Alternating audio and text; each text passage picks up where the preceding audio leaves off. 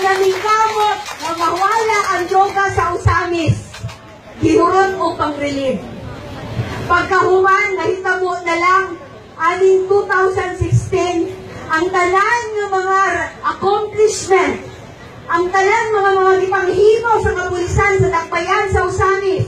Sulod sa tulong ka tuig, 2013, 2014, 2015, even early part of 2016 ni Superintendent Onyate, wala na makaabot sa kauluhan. Ilang ipamukha ka, kita diri wala ka nagpakabana sa kahusay ug kalinaw ug sa problema sa illegal na droga. Unsa ingon ni Superintendent Espinito, ni Chief Inspector Espinito, wala daw naka-report ang mga tabang, ayuda, suporta sa lokal na kagamhanan sa sa taas sa krami. Ingon pa dito ang report, wala ko tay tabang. Ang local government, wala daw naghatag og suporta sa kapulisan.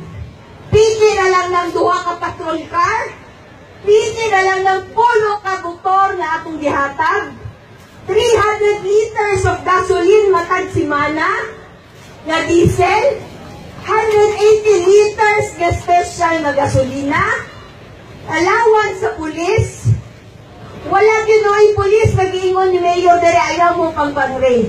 Never na nahitabo. Kundi ni ang pulis ipahimusgan sa dakbayan para makatrabaho siya. Isuportahan siya para mahimo niya yung duty.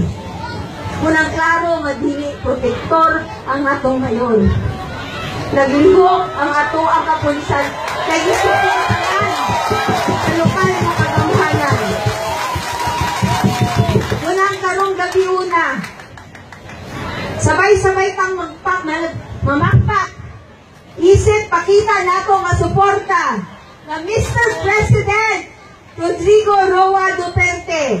Kaming mga usamis nun, nag-usami, kaning mga kabag-ingani nga kabagkalaghanon, uban sa atong mga pamilya sa matagbalay nga nabilin. Nag-usa para ubanan siya sa iyang gyera kontra kanang iligal.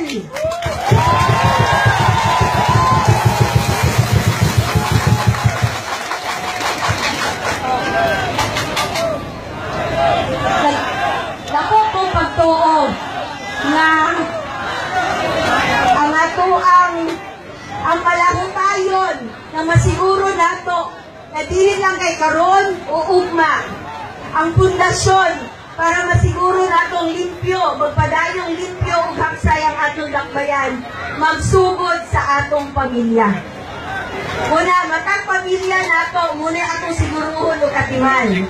Nga wala na miyembro sa pamilya nga musmusuyo, mag-adik-adik, wala na miyembro sa pamilya nga malulong sa sugal, o maghimo og dili nga maayo nga binuhat, binuhatan. Ako ang sugdan sa atong pamilya o sa misnon. Dili man perfecto. Ang asa